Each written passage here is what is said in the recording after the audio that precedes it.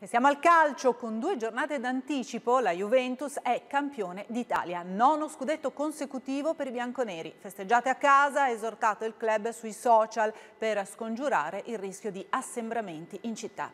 I servizi di Claudio Valeri e di Andrea Tinari. Bianconero sono 10 e dalla Juve, come lui, nessuno mai.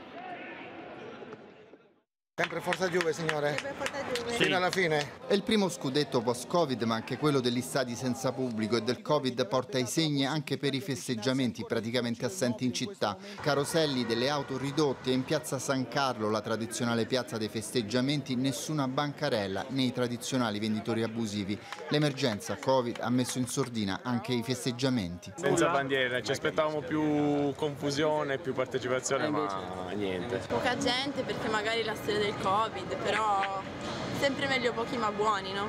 Alcuni tifosi hanno seguito la partita dai pub o dai locali con i loro The Horse, ma senza un'atmosfera di festa e promiscuità. Una buona notizia in fondo per le preoccupazioni sui timori dei contagi da assembramento.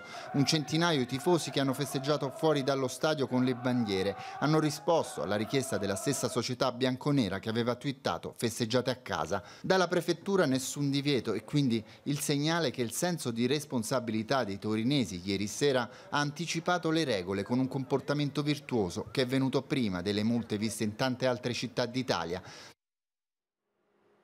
Bugs Bunny compie 80 anni, festeggiamenti in tutto